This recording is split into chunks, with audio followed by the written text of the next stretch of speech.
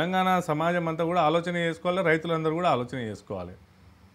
ఒకవేళ కనుక పొడి బియ్యంగా మారుస్తే యాసంగి వడ్లను పొడి బియ్యంగా మారుస్తే వచ్చేటువంటి నష్టం ఎంత?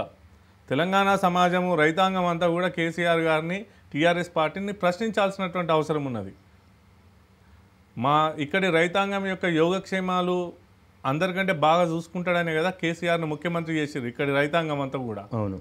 మరి ఇక్కడ రైతాంగం అందరూ కూడా కేసీఆర్ను నమ్మి ముఖ్యమంత్రిని చేస్తే వచ్చినటువంటి ఓట్ల సేకరణలో ఇబ్బంది తలెత్తినప్పుడు తప్పించుకుంటా ఉంటే ఆ తప్పించుకునేటువంటి కార్యం కార్యక్రమంలో నరేంద్ర మోడీని కేంద్ర ప్రభుత్వాన్ని దోషం చేసే ప్రయత్నం చేస్తూ ఉంటే ఇక్కడ నష్టపోతున్నది ఎవరు?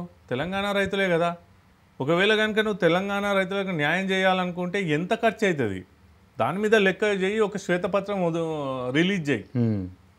కదా ఒక వైట్ పేపర్ రిలీజ్ చేయాలి. పారదర్శకంగా వ్యవహరిస్తే పారదర్శకంగా వ్యవహరిస్తే అయిపోతుంది కదా. అవును. ఇప్పటివరకు సమస్య లేనప్పుడేమో సమస్య మొత్తం కూడా ఇంతకుముందు వడ్లు మొత్తం మేమే సేకరిస్తున్నాం. అసలు కేంద్ర ప్రభుత్వానికి సంబంధమే లేదు. అవును. దేశంలో ఏ రాష్ట్రం సేకరించిన విధంగా నేను సేకరిస్తున్నా అనేసి పోయిన సంవత్సరం దాకా డాంబికాలు కొట్టి తెలంగాణ సమాజానికి నువ్వే చెప్పినావు. ఈ ఒక్కసారి యాసంగికి మాత్రం మీరు ఇప్పుడు బియ్యం మాకొద్దు. రైతుల దగ్గర సేకరించిన వడ్లతోటి మీరు పొడి బియ్యం ఇయ్యండి అని చెప్తే నువ్వేం చేస్తా ఉన్నావు ఇవాళ కేంద్ర ప్రభుత్వం మీద రాళ్ళేయించే ప్రయత్నం చేస్తున్నాం. ఇక్కడ ఉన్నటువంటి బీజేపీ ప్రభుత్వం మీద రా బీజేపీ నాయకుల మీద రాళ్ళేయించే ప్రయత్నం చేస్తా ఉన్నాం అవును. కానీ దానికి ఎంత ఖర్చు అవుతుంది? మీ ఆదుకోవడానికి అసలు చర్యలే లేవా? ప్రణాళికలే లేవా? రైట్ ఒకసారి ఆలోచన చేయాలి.